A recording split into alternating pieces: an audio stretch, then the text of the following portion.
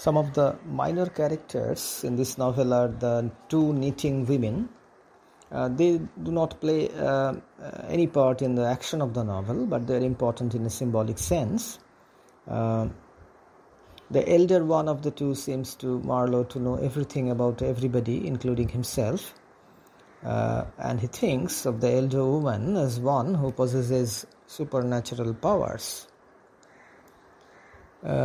So the two together seem to him to be guarding the door of darkness. And uh, Marlow sees them as uh, causing some uh, kind of a bad omen for him, uh, for the voyage that he is going to undertake. There is, of course, Marlow's aunt, who is described by Marlow as a dear, enthusiastic soul. It is she who is instrumental in getting Marlow a job in the service of a Belgian trading company. Uh, she expresses the view that the white men who visit the interior of any dark country do a great service to the natives because they have a civilizing effect on these ignorant and backward people. Marlow does not share this view and he says that women live in a world of their own, a world which is divorced from the stark realities of life. Next, we have the company's doctor. He is not an ordinary member of the medical profession, he is a physician come psychologist.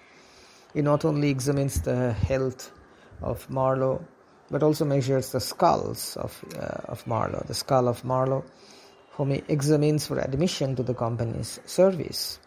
He is interested in studying the effects of the climate and the environment of the African countries upon the minds of the visiting Europeans.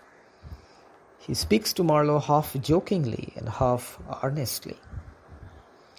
Thus, uh, he is quite an interesting man. This uh, now we come to the company's chief accountant, he keeps his account books in perfect order and that he maintains a neat and tidy personal appearance.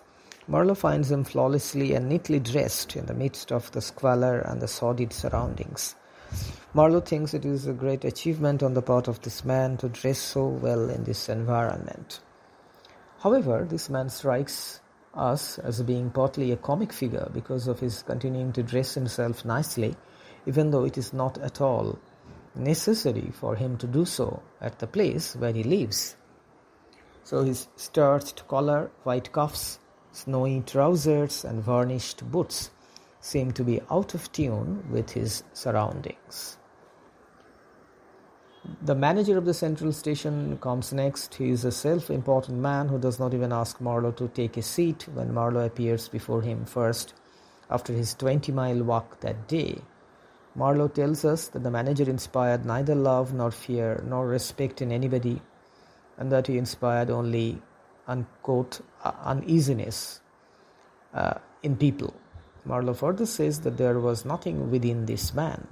The manager had neither learning nor intelligence, but he does have ambition. He feels jealous of Mr. Kurtz because he thinks that Mr. Kurtz might one day supersede him and rise to the topmost position. Uh, next, we come to some insignificant characters like the brickmaker, the manager's boy servant, the manager's uncle, and next uh, there is the Russian who uh, looks like a clown because of the multicolored clothes which he wears. He is an adventurer who travels to satisfy his spirit of adventure and also to gather knowledge.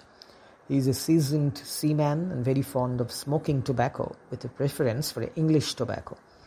This Russian is a great admirer of Mr. Kurtz and he gives Marlow plenty of information about that man and that man's influence over the natives. His devotion to Mr. Kurtz is very touching indeed.